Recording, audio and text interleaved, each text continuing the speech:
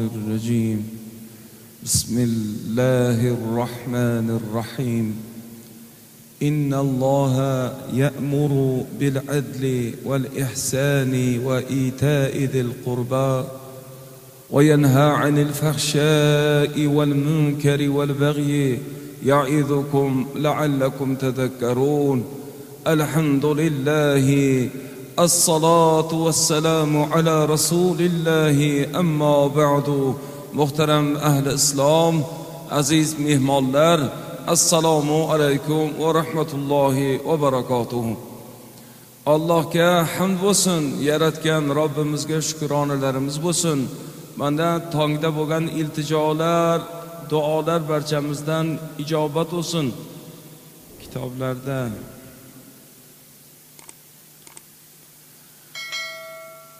قال عمر بن الخطاب رضي الله عنه قال الدعاء موقوف بين السماء والأرض لا يسعد منه شيئا حتى تصلي نبيك صلى الله عليه وسلم. حضرت عمر بن الخطاب رضي الله عنه aytadilar duolar osmon bilan yerni o'rtasida to'xtab qoladilar. Undan biror narsa robbingizga ko'tarilmaydi. To payg'ambarimiz sollallohu alayhi vasallamga salovat o'qimaguningizcha. Ma'nosi. Muhtaram azizlar mana shu duolardan keyin iltijolardan keyin niyatlardan keyin maqsadlardan keyin nazrlardan keyin tilovatlardan keyin namozlardan keyin og'izlarni ochib yoki og'izlarini yopgandan keyin kitob yozayotganda boshlab yoki kitob yozayotganda tugatgandan keyin duolardan keyin hammasida hazrat payg'ambarimiz rasululloh sollallohu alayhi vasallamga salovat keltirilar ekan. Sabab agar shuni qilmasak duolar ko'tarilmas ekan. Bu hazrati umar ibn xattobni so'zlari. Payg'ambaringizga salovat keltirmaguningizcha duolar ko'tarilmaydi biror narsa ko'tarilmaydi. Muhtaram azizlar hazrati payg'ambarimizning nomlari ulug'dir hazrati payg'ambarimizni yo'llari ulug'dir hazrati payg'ambarimizni so'zlari ulug'dir kelinglar muhtaram azizlar mana bugun shundoq bir fayzlik bir tongda mana qozi domlam foziljon qori domlam ustoz domlalardan yana siz aziz mehmonlar mana sarvarjon bilan kelinimizni to'ylari munosabati bilan sizu bizni to'plab bunaqa dasturxonlar yozibdi. Shu sarvar kuyovimizni iltimoslariga ko'ra ota onaga yumshoq gapirish haqidagi imom al buxoriy hazratlarini al adab al mufrat asarlaridan ota onaga yumshoq gapirishlik haqidagi bobdan bir eshitaylik. Allohi taborak va taolo barchamizni roh rostga boshlasin. Ne baxt ne saodat. Tongda tursangiz namoz o'qisangiz duo qilganingizdan keyin amri moruf yakkasaroy to'yxonasida soat sakkizda. Birodarlar borsangiz hadis eshityapsiz. Borsangiz oyat eshityapsiz.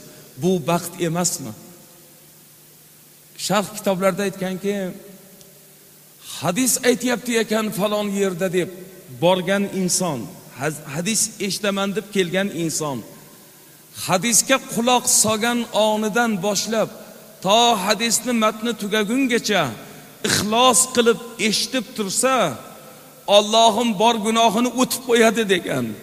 gunohlarini kechirib qo'yadi degan shoyat Allohim bu tongda bu ajrdan nasib etsa demak imom al buxoriy hazratlarini al adab al mufrat asarlaridan beshinchi bob ota onaga yumshoq gapirishlik haqida bismillahir rohmanir rohim عن طيلس ابن مياس رضي الله عنه قال كنت مع النجدات فأصبت ذنوبا لا أراها إلا من الكبائر.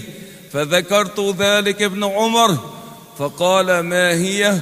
قلت كذا وكذا فقال ليست هذه من الكبائر هن تسع فقال الإشراك بالله وقتل نسمة والفرار من الزحف وقذف المحصنة وأكل الربا وأكل المال اليتيم وإلحاد في المساجد والذي يستسخر به والبكاء والدين من العقوق فقال أتفرق من النار وتحب أن تدخل الجنة؟ قلت اي والله؟ فقال أحية والدك؟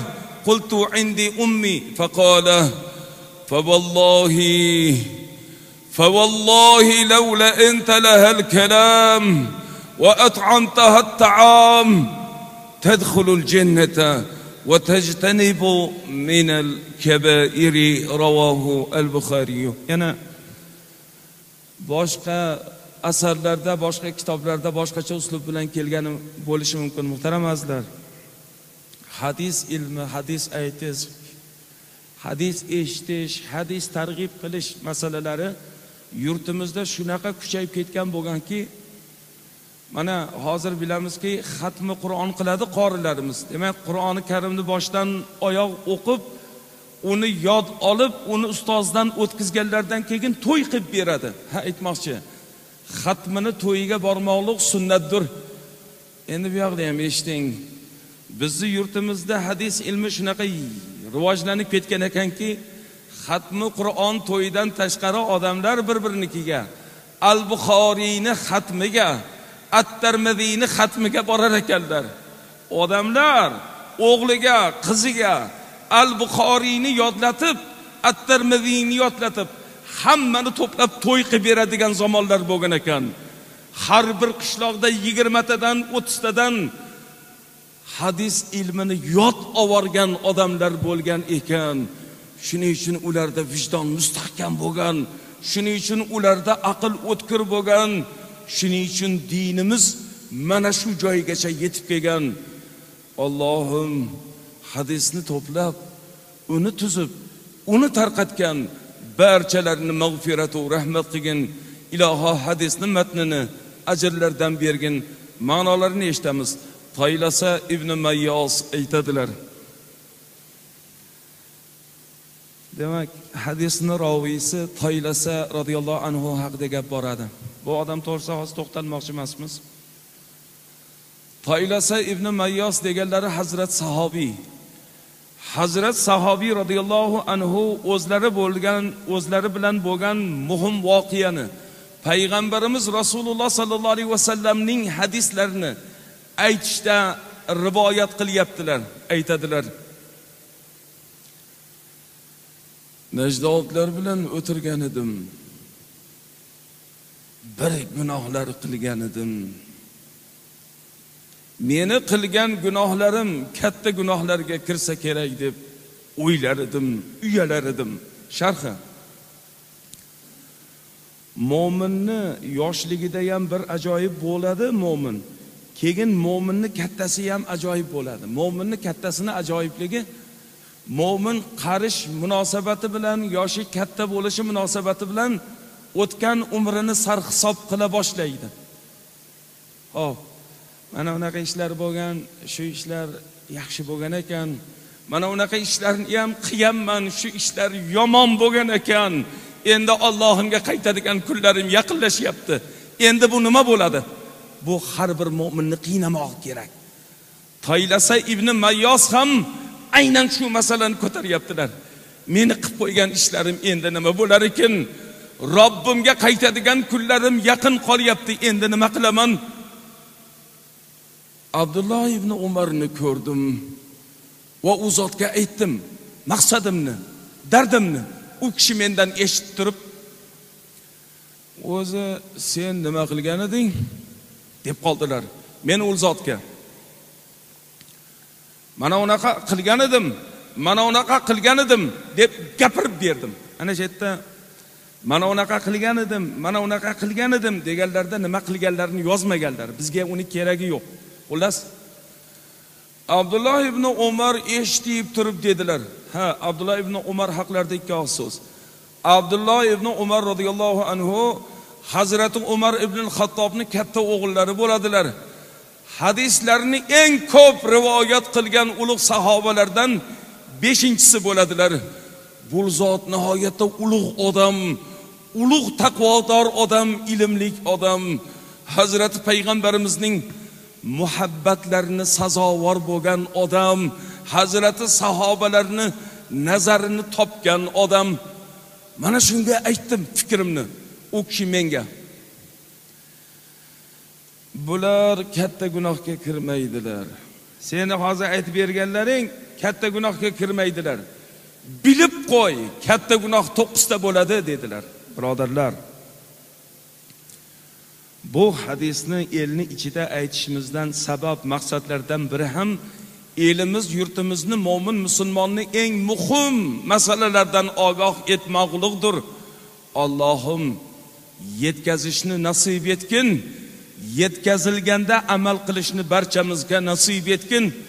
O birodarlar to'qqizta katta gunoh bor ekan uni azim deydilar azim.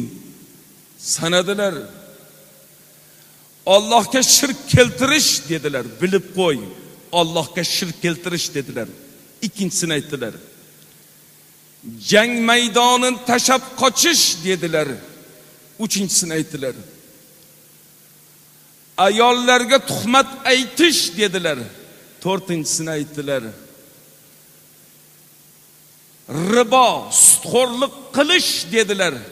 Beshinchisini aytdilar. Yetimlar molini yeyish dedilar. Oltinchisini aytdilar. Masjidlarda qiyshayish dedilar. Masjidlarda qiyshayish o birodarlar azimga kirar ekan bu azimga. Azim kitobda aytganki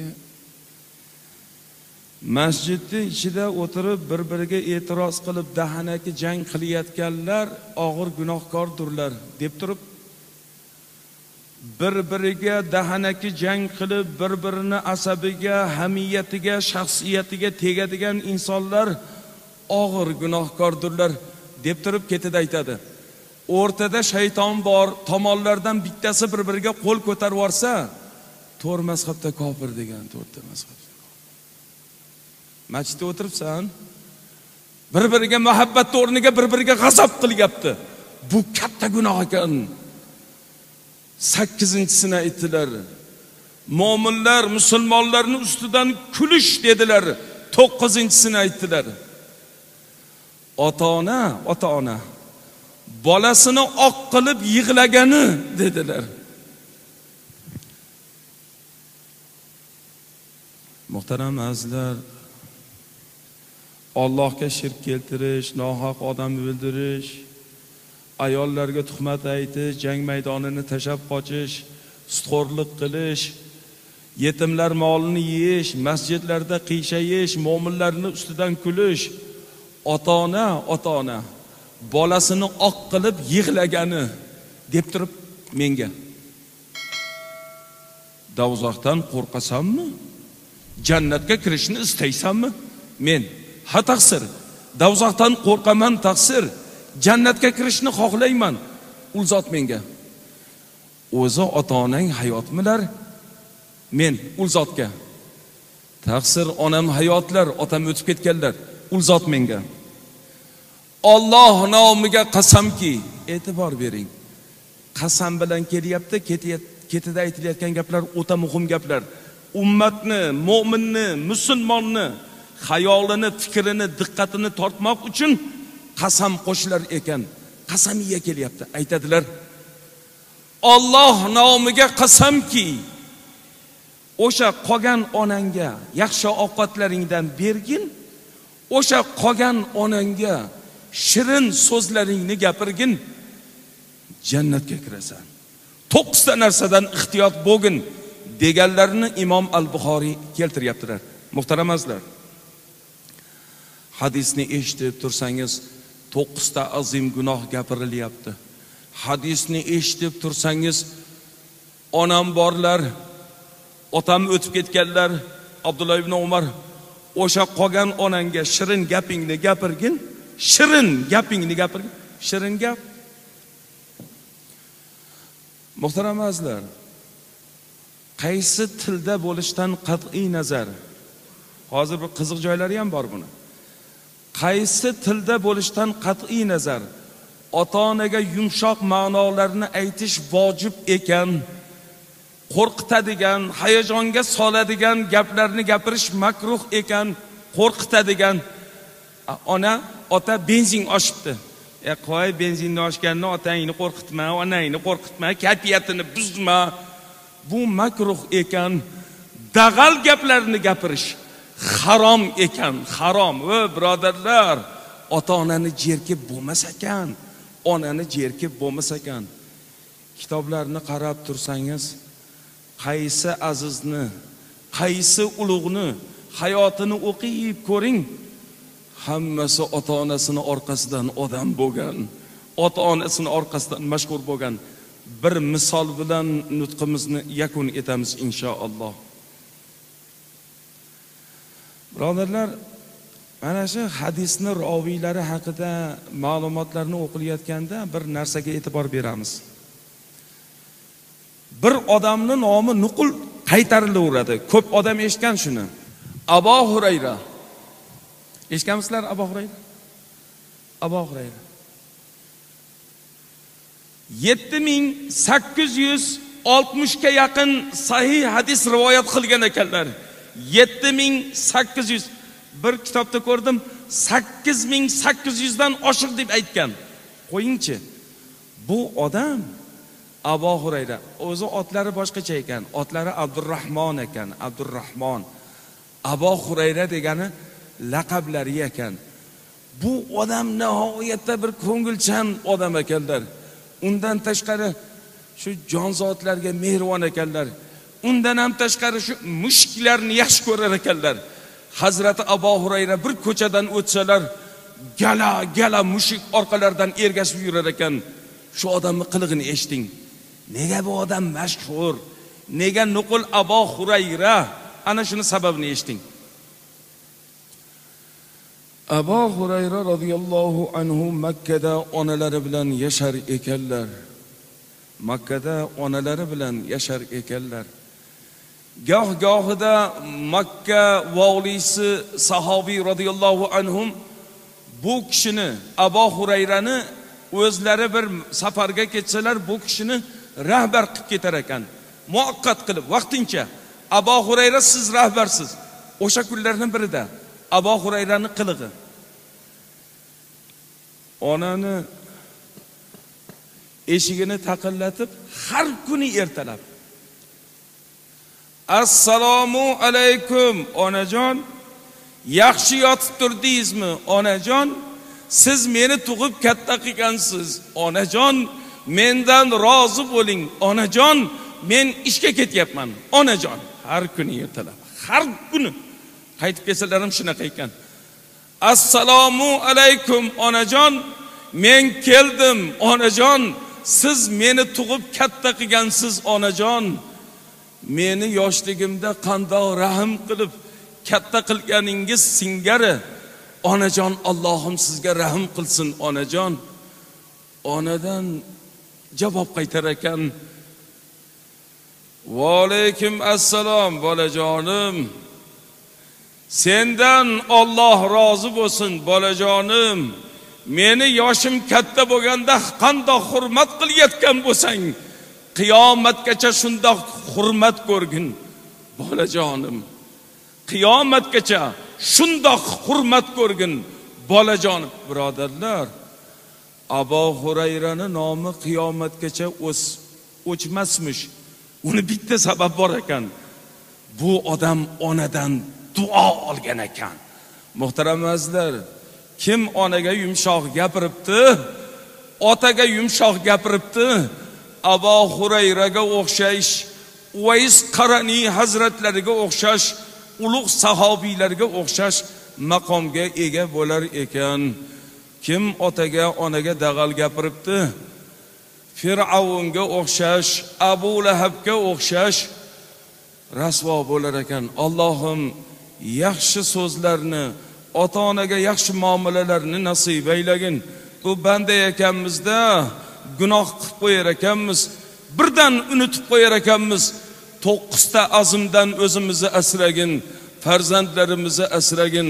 Hali hamon huzuringga qaytajakmiz allohim huzuringga qaytajak onimiz. Gavhari iymonimizni hamroh qilgin. Mo'min musulmonni rahmatidan barchamizga nasib etgin. Hazrati payg'ambarimiz sollallohu alayhi vasallamning shafoatlaridan nasib aylagin. Farzandlarini allohim baxtini ber saodatini ber mehrni muhabbatini bergin solih soliha farzandlar haloli moli davlatlar bergin ofotlardan balolardan asrab qo'ygin.